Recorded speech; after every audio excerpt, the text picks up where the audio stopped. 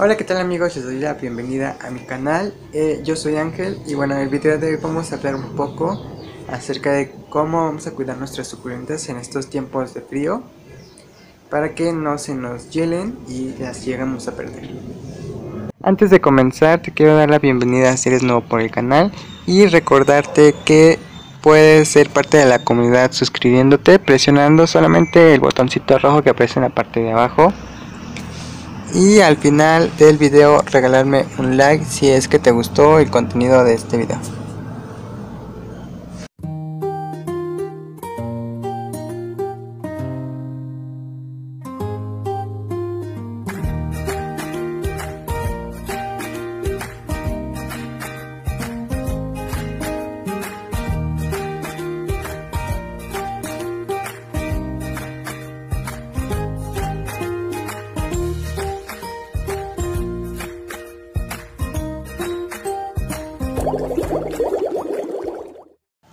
Pues como ya mencionamos, vamos a hablar un poco acerca de esos cuidados que vamos a darle a nuestra planta en estos tiempos de frío. Porque pues ya este, comenzamos con las temporadas. Así es que hay que eh, tener ciertas precauciones. Y las que yo les voy a dar son eh, pues las más accesibles. Eh, estaría de lujo tener algún invernadero, pero pues no siempre se puede. Entonces pues vamos a ver las propuestas que les traigo en este video. Lo primero que vamos a hacer es colocar todas nuestras suculentas en un solo lugar de preferencia para que eh, entre todas generen un ambiente que les favorezca las unas a las otras. Aquí sí les quiero mencionar que de preferencia eh, lo hagan eh, no directamente en el suelo, sino que busquen un lugar que esté un poco alzado. Sale, pueden colocar unos tabiques y unas tablas así como eh, yo lo he hecho en este caso y eso es para que nos ayude a que se ventilen un poco más y no haya presencia de hongos o algún otro inconveniente. Lo siguiente que vamos a hacer es colocar ya sea una manta antiheladas. Em, esta la venden en aquellos lugares donde se especializan en todo eso de huertas y de cultivo si no la llegasen a encontrar o no, este, por el momento no hay recursos para comprarla, em, podemos implementarlo con una eh, sábana, una sábana vieja que tengamos, eh, va a ser la misma función. Y bueno, lo que vamos a hacer solamente es colocar la manta sobre nuestras suculentas, sale de esta forma como lo están viendo aquí como les digo es una manta eh, una sábana vieja aquella que ya no ocupemos eh, porque pues va a estar en el exterior y va a estar con las plantas con contacto de tierra y todo esto. Y bueno de esta manera a ver nuevo para acá para que se vea. Eh, de esta manera vamos a cubrir lo que son nuestras suculentas. Esa sería una opción que pues es bastante efectiva. Algo que quiero mencionar también en esta opción es que hay que retirarla cuando el sol esté, pues como tal durante el día vale porque eh, pues si no vamos a favorecer la creación de algún hongo o algo así. Y como ven no le pasa nada a nuestras suculentas están perfectas. Eh, también hay que este en caso de que tengan pruina nuestras suculentas podemos eh, utilizar palillos de estos que usamos luego para identificar y las colocamos eh, los palillos así alrededor colocaremos alrededor para que la manta no toque la pruina de nuestra planta. Aunque creo que eh, de que se manche a que se nos queme pues es preferible que se manche.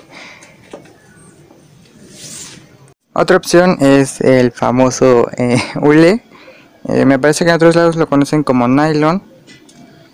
Como pueden ver, eh, solamente colocamos unos palos alrededor de la maceta o de donde lo tengamos. Esto serviría para si lo tenemos en el piso, porque como ven, pues está bastante grande la maceta. Eh, o como sea que lo llamen ustedes. Solamente apoyamos encima lo que es el plástico en dado caso de que vengan vientos aquí se le sujetaría con algún hilo o algo así. Y bueno eh, igual hay que evitar este taparlo completamente. Hay que dejar un poquito de espacios abiertos como en este caso que por acá está abierto para que circule el aire dentro de este lugar. Y no se creen hongos como les he dicho anteriormente.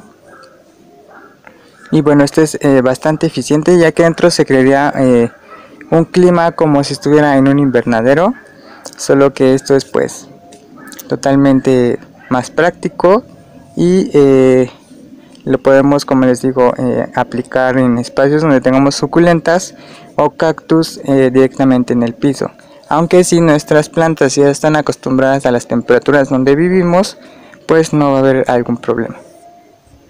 Y bueno así como solamente lo colocamos también lo vamos a tener que quitar en las horas que el sol sale para evitar que nuestras plantas se sofoquen, se mueran y pues perdamos una planta. Entonces hay que tener también cuidado. Y bueno como les decía solo enterré los palitos. Incluso eh, los podemos retirar. Y podríamos colocar el, eh, el hule solamente así encima como lo hicimos con la manta pero eh, al estar eh, pues directamente sobre las plantas no le dejaría este espacio que se crea a diferencia de que si le ponemos los palos que le sirven para airearse entre todas las plantas entonces pues se los dejo a su consideración pero yo sí recomendaría que le pongan algo que le, ah, le cause altura al plástico y pues esté mejor. Si nosotros utilizamos eh, macetas de barro, eh, como algunos ya sabrán muy bien, estas aumentan las temperaturas, si, ya sea de calor o de frío.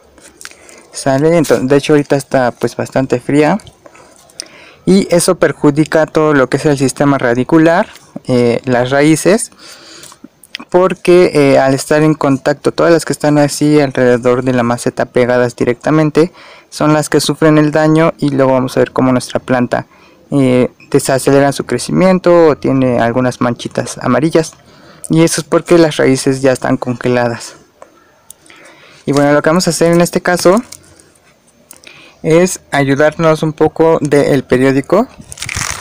Sale, vamos a colocar nuestra maceta y simplemente vamos a envolver la maceta pero de preferencia hay que hacerlo al nivel de la maceta o un poquito más eh, si acaso que sobre este espacio para que esto lo doblemos hacia adentro. Y bueno eh, de esta manera vamos a crearle un poquito eh, de protección a nuestra maceta y por lógica a nuestra planta. Esto no le va a hacer daño en nada incluso podemos seguir haciendo los riegos pero hay que recordar que también en cuanto a los riegos vamos a disminuir la cantidad de riegos. Sí vamos a seguir regando pero en menor cantidad. Em, en mi experiencia eh, sí dejo que se seque un poco el sustrato y eh, ya después hago el riego. Bueno eh, como les decía vamos a cubrir nuestra planta toda eh, alrededor eh, ahorita lo voy a hacer y les muestro cómo queda porque no puedo realizarlo con el teléfono en las manos. Bien, pues así nos quedaría, como ven solamente lo enrollé y el exceso que les dije que dejaran es para que se doble hacia adentro y se sostenga el periódico por sí solo. No tenemos que estar usando plásticos. Entonces así eh, queda perfecto. Ya este solamente la vamos a colocar en su lugar en donde agrupamos nuestras plantas. Y eso es todo en esta pues en esta opción.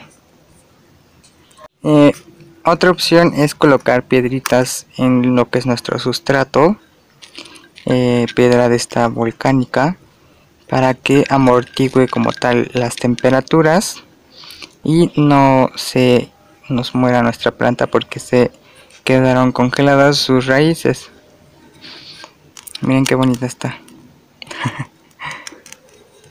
de hecho, de esta no sé su nombre, así es que si ustedes se lo saben, eh, y me quisieran compartir el nombre, se los agradecería mucho. Y de verdad es muy prolífica. Hay que quitarle sus hijitos. Y bueno, vamos a seguir con el video.